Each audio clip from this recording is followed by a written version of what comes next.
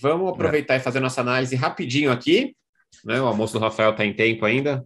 Tem Meio tempo, de tá três. Tem tempo, tá tranquilo. Vamos lá, então. Bom, então, partida número 7 aqui.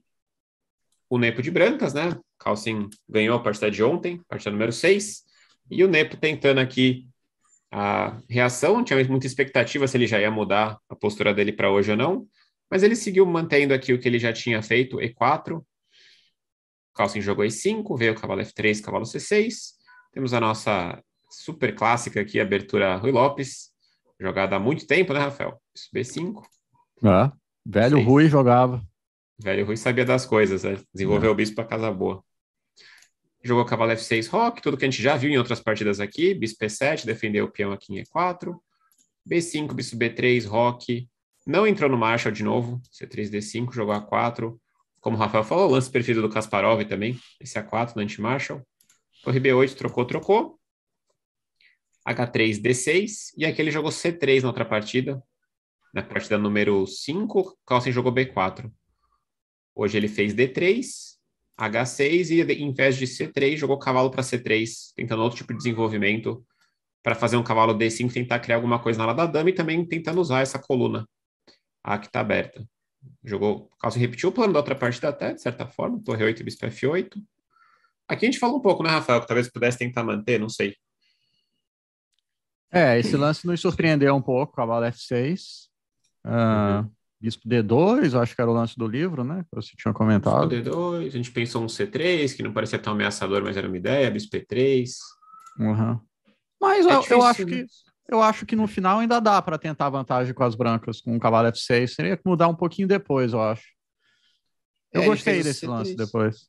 Uhum. Teve uns pequenos incômodos, talvez, né? Por causa assim, pequenos, né? Uhum. Talvez teve. É, jogou C3, mantendo a opção do D4, e o Carlsen fez aquele plano do outro dia também, né? Cavalo E7. Que ele fez no outro dia também. Acabou, acabou indo para G6 o cavalo mais tarde também. O cavalo sempre tá meio estranho, essas posições de Rui Lopes aqui. É um dos pontos é, que o preto tem que cuidar muitas vezes. Veio o cavalo E7, bispo E3, e aí bispo E6. Talvez aqui, né, Rafael? Não sei. Se aqui poderia ter algo diferente para fazer. É, aí, se bem que D4 é tão, né? Não pode ser ruim esse lance. Foi o que ele jogou, né? Jogou D4, D4. É. Ah, é. Porque puxar aqui, talvez D5 teria o bispo C5, de repente, invadindo um pouco, não sei. Ah, é. Pode ser bispo C2 C aí, né? É, bispo C2 aí talvez C5.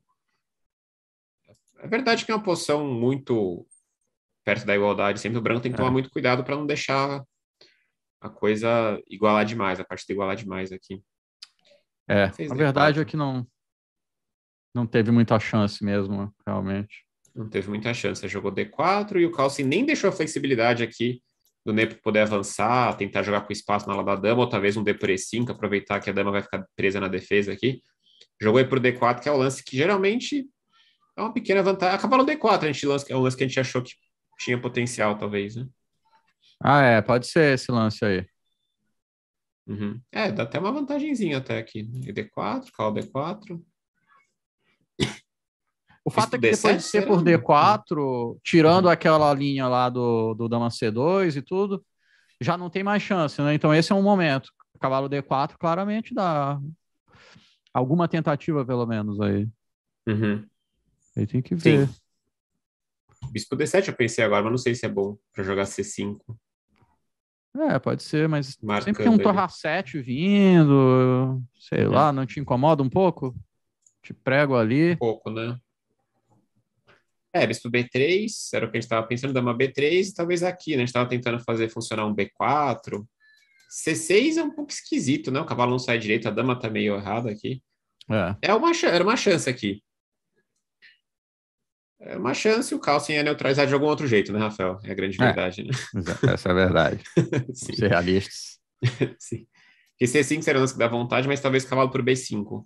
Mas, se você for bater um blitzinho aí no chess.com e o pessoal quiser te jogar, você já pode testar isso aí. Vai funcionar, provavelmente. Contra o Carlsen, eu tenho minhas dúvidas.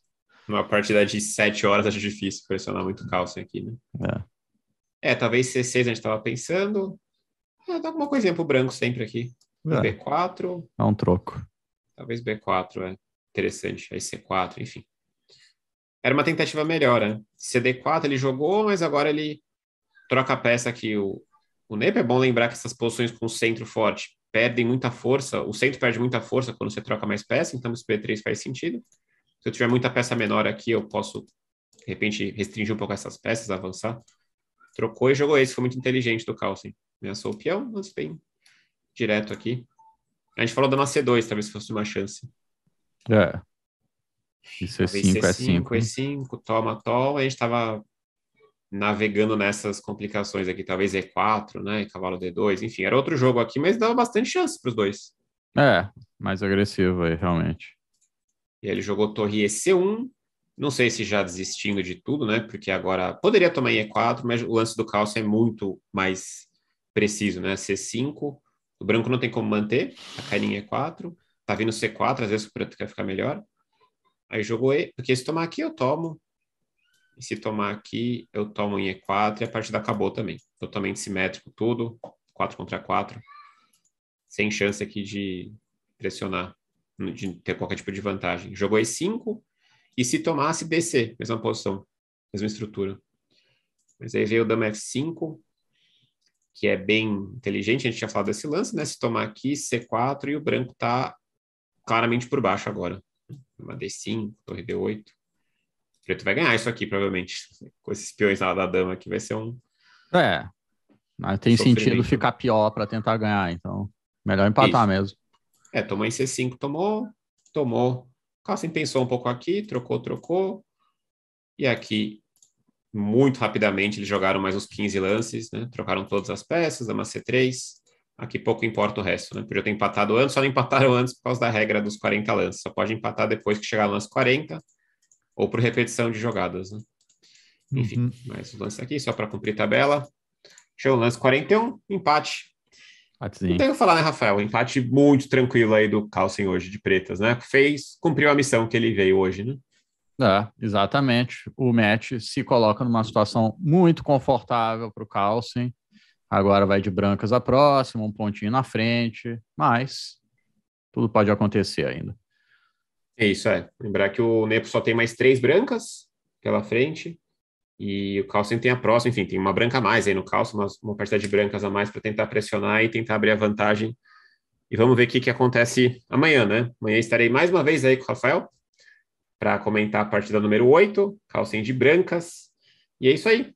Espero que vocês tenham um ótimo sábado aí. Obrigadão, Rafael, pelos comentários. E nos vemos amanhã, então, nove e meia da manhã. Valeu, Rafael. Valeu, pessoal. Nos vemos amanhã. Valeu.